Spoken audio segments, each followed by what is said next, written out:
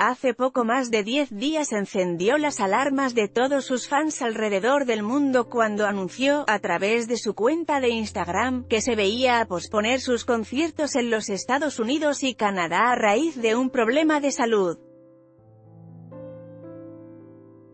Sin embargo, para tranquilidad de todos, el propio Mick Jagger volvió a mostrarse en las redes en buen estado de salud y de excelente ánimo tras la intervención del corazón que le debieron realizar y que consistió en reemplazarle una válvula aórtica por un catéter.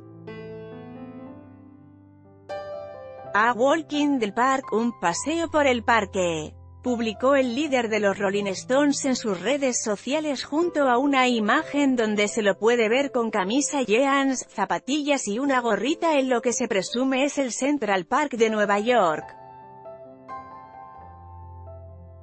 En definitiva, una buena noticia para todos aquellos que esperaban ansiosos una nueva gira de los Rolling Stones, que iba a empezar justamente en los lugares donde debió aplazar sus presentaciones a raíz de la operación a la que se debió someter.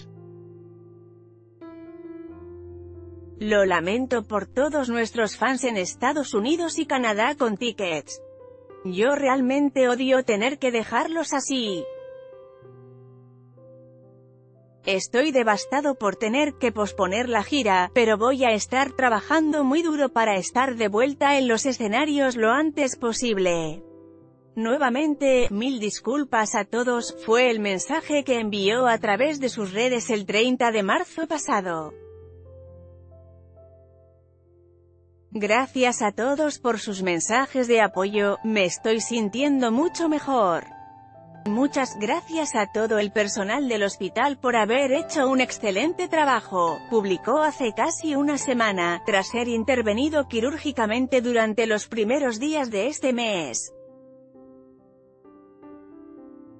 Ahora, seguramente todos sus seguidores alrededor del mundo esperan ansiosos que haya novedades acerca de los 17 conciertos de su gira, No Filter, que preveían comenzar el próximo 20 de abril que el grupo debió cancelar en los Estados Unidos y Canadá a raíz del problema de salud de su cantante.